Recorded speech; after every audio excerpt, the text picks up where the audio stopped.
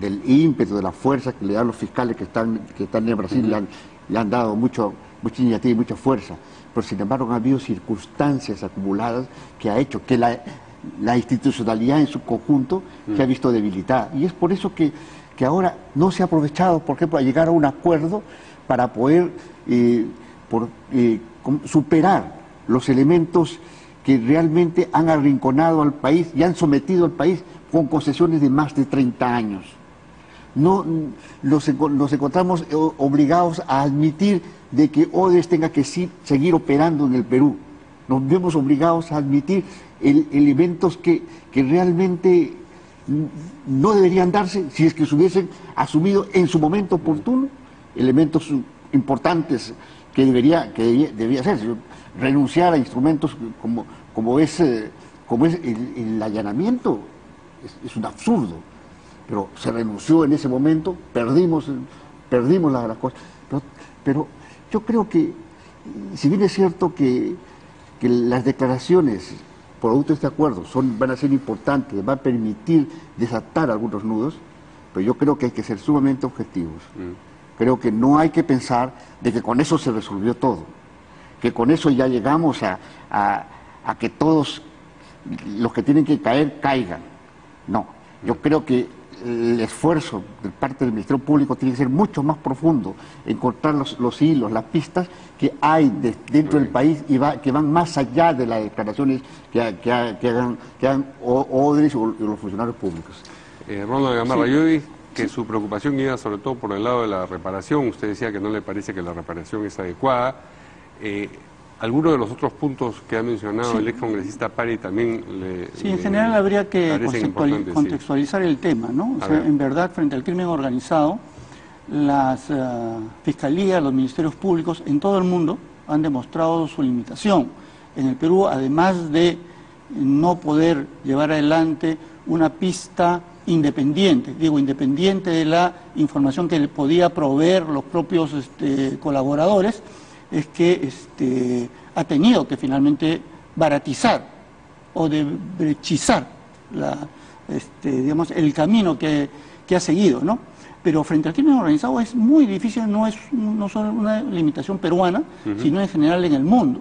Por eso es que frente al crimen organizado se dice que hay dos oh, caminos útiles y estrictamente necesarios. ¿no? Uno es el de la colabor- colaboración eficaz y el otro el de la asistencia jurídica internacional.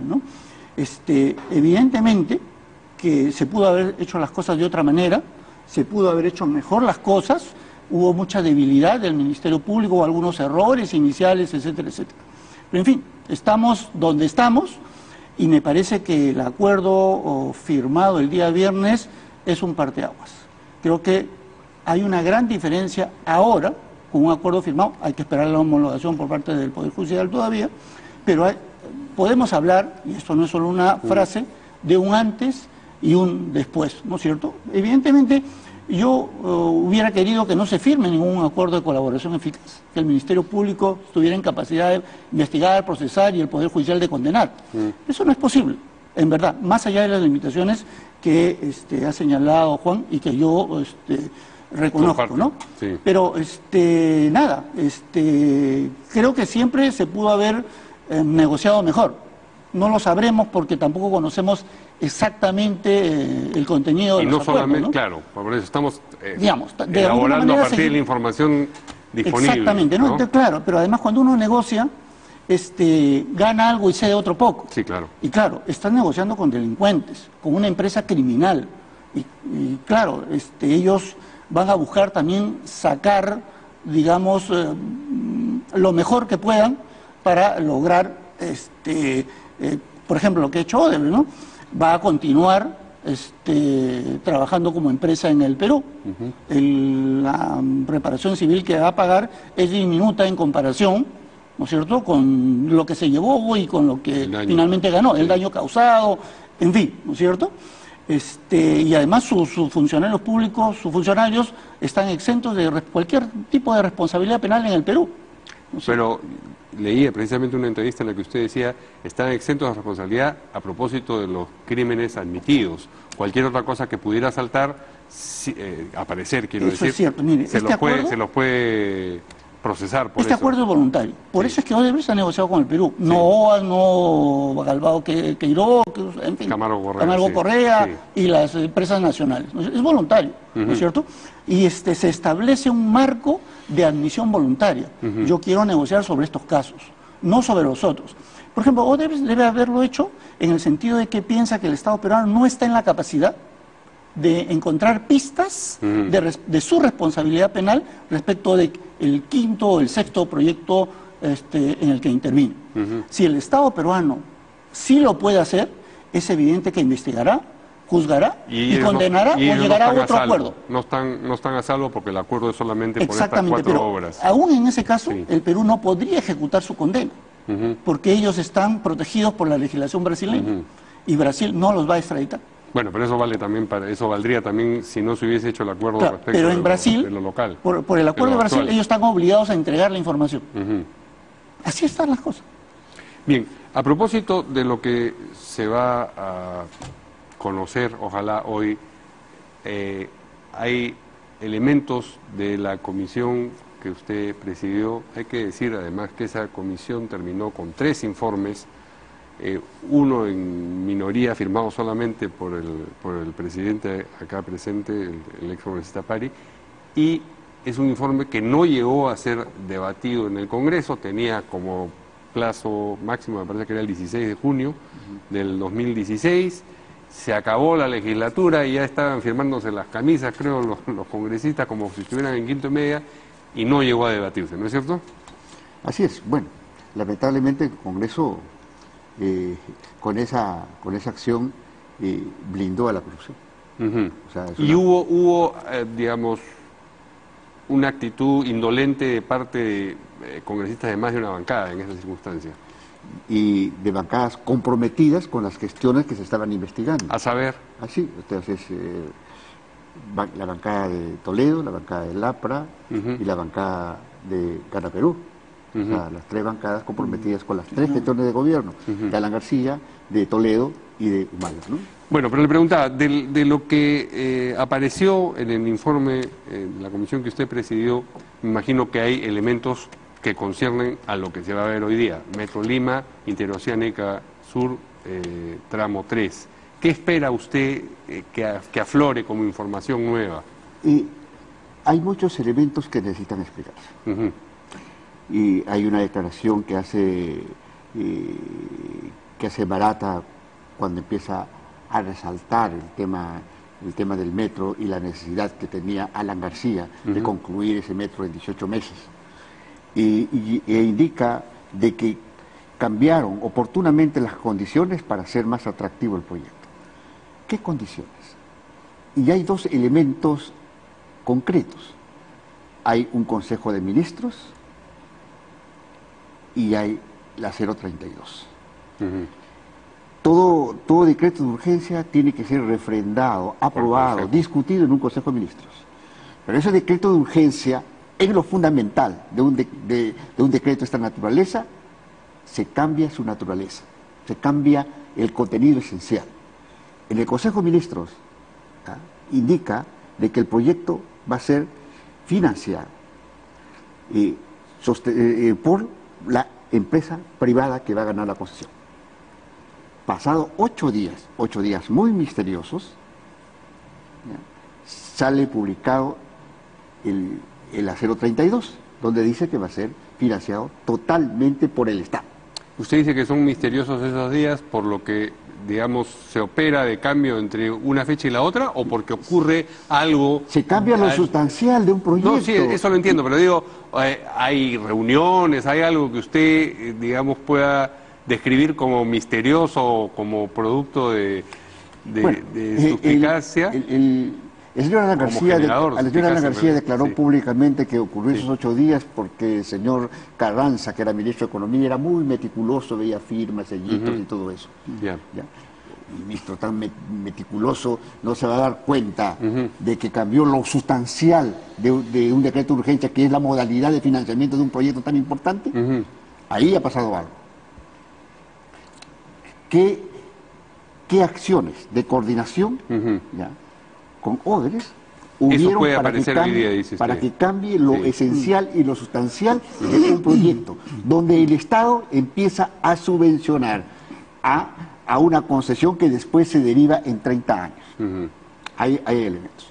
Segundo, segunda situación. Eh, el señor Cuba, y eso lo dice Nostre, Viceministro min- Ministro de Transportes y Claro. Comunicaciones, sí. No, pero en ese tiempo, en el 2008, él no era absolutamente Todavía nada, no tenía ninguna función. Pero desde ahí empieza a coordinar. Sí. No fue un error la fecha, sino que desde ahí empieza a coordinar los cambios para que pase de la municipalidad Al a- Ejecutivo. al Ejecutivo. Él no representaba mm, formalmente a nada. ¿A quién representaba? ¿Por qué le daban importancia al señor Cuba para entrar a ese tipo de negociación? Claro. ¿Qué pesaba en él? Ese es un elemento importante, Claro. porque, eh, porque una, una empresa no va, a no va a negociar con cualquiera, va a negociar con alguien que ha sido avalado. ¿Cuál es la personería que él, que él es. ostentaba en ese momento? Así es. Y supongo que debe, debe haberse identificado y debe estar clara la personería a cual representaba. Bueno, esas y otras conclusiones del informe PARI deben ser tomadas, si no lo han sido ya, por el Ministerio Público, ¿no es Ujú. ¿cierto? Y esa es una expresión de cómo desde el Congreso también se pueden avanzar las investigaciones cuando hay seriedad y se quiere conocer la verdad, ¿no? Lo hizo el, el- el congresista PARI en su momento. Eh, Yo quería anotar además que no solo hay responsabilidad de bancadas que blindaron como organización, digo, a la, a la empresa Odebrecht, sino también probablemente este, congresistas con nombre y apellido que habrían sido financiados por Odebrecht. ¿no? Para yo- usted. su campaña, ¿no? Y yo espero sinceramente, porque dicen que este acuerdo, el suscrito el viernes, es abierto, Sí. se pida información también respecto de los congresistas cuyas campañas habrían sido financiadas por Odebrecht, porque ellos estarían en la misma condición que cualquier otro que recibió dinero sucio de Odebrecht, ¿no? Y, Sí. y- y ahí tocando el elemento de financiamiento, yo noto con suma extrañeza de que, de que todo se qui- quiera reducir como aporte, campaña, inclusive ponerle el concepto aporte. El concepto aporte le baja la, la tensión, le, fal- le baja La la, naturaleza, fuerza, la- digamos, Claro, este, la- eventualmente delictiva. Así es. Y hay que recordar que Odres decía, Marcelo Odres decía, yo financié a todos. Y, y- y hay que seguir la línea donde dice ese concepto. Hay que formar la red. El, tema es grave, porque la corrupción destruyó el modelo democrático que de- debería tener el país, donde hay un ejecutivo y hay un legislativo, y el legislativo debería ser el control político de la función pública que realiza el ejecutivo. No, se allanó todo. Y es por eso que financió a todos. No es solamente a quien gana la campaña, sino también a los que deberían hacer el control político. Y es por eso que en el Congreso sucede N cosas. Y le voy a decir, el APRA, por ejemplo, brindó a Toledo, brindó a Kuczynski todo el periodo 2006-2011, donde se le estaba investigando a, Toledo. Hay varios informes. Abril 2006, Comisión de Fiscalización, se blinda el tema, el tema de interoceánica, que no pasa absolutamente nada. Eh, el, el informe Serna, no se discute, estando en agenda, para discutir en el Pleno, donde se, tocaba, se tocaban los CRPAO, no se, no se llega a discusión en el Pleno. Se archiva en Consejo Directivo, algo totalmente ilegal. El informe Eguren, eh, eh, eh, Pastor, Pastor, Aurelio Pastor, y, y yo lo- y el otro congresista, ¿cómo se llama? Este, eh, que es nacionalista, que firma también, eh, sale casi repitiendo lo que, lo que salía en el informe de, de abril de 2006, que, lo- que lo presidía en ese entonces la Comisión de Fiscalización Velázquez Quesquén. Coincidentemente, en, en septiembre de 2000 2008, semanas después de que, de que Marcelo Odres visitaba la Palacio y se trata después en el Congreso, también lo presidía, presidía el Congreso el mismo personaje. Bueno, han ocurrido un montón de hechos de blindaje que ah, ahora son adversarios políticos, hablan, rajan, sí, caramba, la corrupción, esto, y, y lo que blindaron en todo ese periodo, lo que permitieron. Entonces, entonces, eso significa de que el Congreso por mucho tiempo abdicó a la corrupción, se allanó, no hizo su función principal, que es el control público de la, que, debería ser el Ejecutivo. Por eso es que financió a todos. Esos y otros descubrimientos, como los que ha hecho el, ex congresista Pari, deben ser ratificados por los funcionarios de Odebrecht a partir del, día de hoy. Es decir, que este, deberían revelar o sea, supuestamente que eso no ha sido casualidad, sino que ha sido deliberado, buscado y, coordinado. Exactamente, y no solo se trata aquí, porque nunca se trata solo de una declaración, ¿no es cierto? La colaboración eficaz supone entrega de prueba, de documentación que acredite que efectivamente lo que uno dice eso es cierto. No vale la declaración, hay que tener mucho cuidado con las declaraciones. Por supuesto, uno dice, no van a mentir, porque si mienten se le puede caer el acuerdo de colaboración eficaz en el propio Brasil. Ellos están obligados. Pero digamos, siempre existe la, posibilidad de que pueda imputar hechos falsos y pueda comprometer a personas inocentes. ¿No es cierto? Por eso hay que tener mucho cuidado y hay que pedir que se acredite cada frase que dicen los colaboradores eficaces. ¿no? Esto tendrá una repercusión muy importante, pero habría que preguntarse si esto va a llevar a las otras empresas ¿no es cierto?, a firmar acuerdos de colaboración, por lo menos a pensarlo, ¿no? Pero, no sé, pero sí estoy convencido de que un acuerdo como este, cuando se homologue, mm. digamos, en las próximas semanas o meses, sí va, sí va a tener un efecto tremendo en, lo que, en el llamado club de la construcción. Ah, acá en el Perú. Acá, porque, porque evidentemente se va a brindar información sobre ese tema. Y la única posibilidad de que tienen los que están involucrados en el tema es entregar una información oportuna. Porque si antes la entregó Odebrecht, ya no tiene ningún sentido entregar esa información. Ahora, eh, Interoceánica Sur, tramo 3 es lo que se va a, acerca de lo que se va a interrogar a Luis de Castro Santos, pero Interoceánica Sur, por supuesto, incluía otros tramos en los que estuvieron involucrados las empresas Camargo Correa, Andrade Gutiérrez y Queiroz Calvao también. De eso no va a aparecer hoy día nada, primero porque no son los tramos y segundo porque no son Odebrecht. Eh, ustedes dos han mencionado ya a estas otras empresas y alguno de los eh, involucrados, eh, de, los, de los fiscales, me parece, ha dicho que ellos piensan que el acuerdo con Odebrecht va a producir un efecto dominó y que las otras em, constructoras brasileñas van a van a acceder o van a pedir, van a solicitar acuerdos semejantes. ¿Eso es verosímil? Bueno, esperemos, esperemos que sea. No, sí, claro que esperamos, pero digo, este, hay elementos como para decir, mira, te conviene más. Eh, Así como le está saliendo el negocio a Odres. Sí, va a querer de todas maneras. Van a querer, pero, pero sin embargo yo creo que hay que subrayar algunas cosas en interoceánica y en relación a, a ese tramo. Todo el mundo ha hablado de las operaciones estructuradas, de la caja 2, sí, claro. pero hay que hay que hablar del otro departamento. De la caja 1. ¿no? El departamento de las, del el departamento de mediciones, el departamento donde se utilizaba técnicamente, entre comillas, para generar las sobrevaloraciones ahí en la interoceánica. No eran los, los cambios en las mediciones longitudinales, eran los cambios en las mediciones topográficas. El dedo de Dios es un, ejemplo por, de, cómo se varían las, mediciones topográficas. ese hecho eh, de la variación de las mediciones topográficas y cómo, qué significa en términos de sobrevaloración. Eh, no, no, es solamente medición, es, es eh, tema de logístico, tema, tema de transporte de materiales, tema... Y es por eso que encontramos las empresas que han tercerizado vinculadas al, al, al, al tema transportes porque era necesario justificar ese esos movimientos, entre comillas, que no existían. Mm. Entonces, eh, tenemos, eh, tenemos, tenemos el, caso, el caso de... tenemos el caso de, de, varias cosas ya denunciadas eh, por el señor Angulo, que, que, tenía que ver con, el, con Irsa Norte, pero también lo encontramos en, en Irsa Sur, ¿ya?